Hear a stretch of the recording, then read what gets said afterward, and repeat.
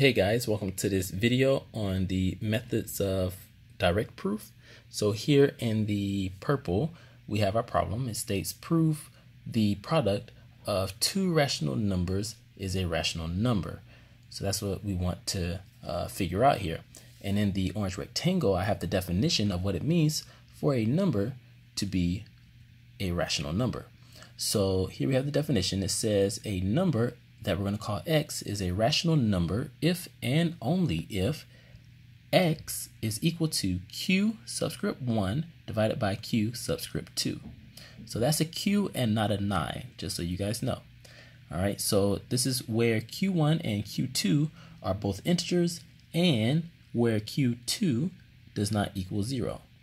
So, of course, I'm saying q1 and q2, that's q subscript 1 and q subscript 2. So I'm probably going to use them interchangeably um, throughout this proof.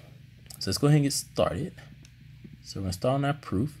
And what we're going to do here is we're going to assume that the real numbers, so let's say assume the real numbers that we're going to call x and y are rational numbers. Okay. All right. And so now we want to show that this is um, true. So we're going to let x equal q1 divided by q2 where q1 and I guess I'll just write out and q2 are integers. And q2 does not equal 0. Okay, we can't divide by 0. And then we're going to let y equal q subscript 3 divided by q subscript um, 4, where q3 and Q4 are integers. And Q4 does not equal 0. Okay, again, we cannot divide by 0. So we have the product of x and y, that's x times y. And that means that this is equal to q1 over q2 times q3 over q 4. And this is equal to Q1 um, times Q3. So just another way of writing it. And then Q2 times Q4. Okay, and now we can say Q1 times Q3 is equal to uh, some other integer value. We're going to call it Q5. And we know it's an integer value because Q1 and Q3 we stated are integers okay?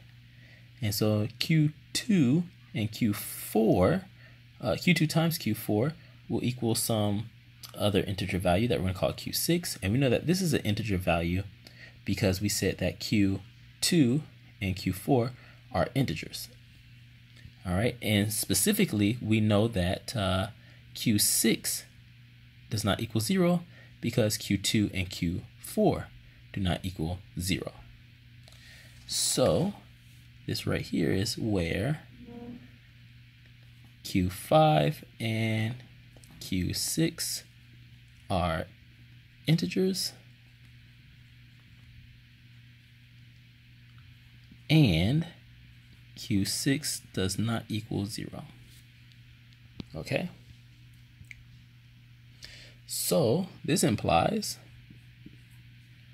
that x times y is a rational number. Because we have the exact same definition of what it meant for a number to be uh, rational. So this here is the exact same definition that we have up here, just uh, replace the 5 for 1 and the 6 for 2 and we'll have the same uh, definition. So having shown this, again, we conclude that the real number x times y is a rational number. And that's basically it for our proof, guys. So thank you for watching. Uh, please leave any questions you have in the comments section below. Uh, don't forget to hit that like button if you like the video. And don't forget to hit the like button if you didn't like the video.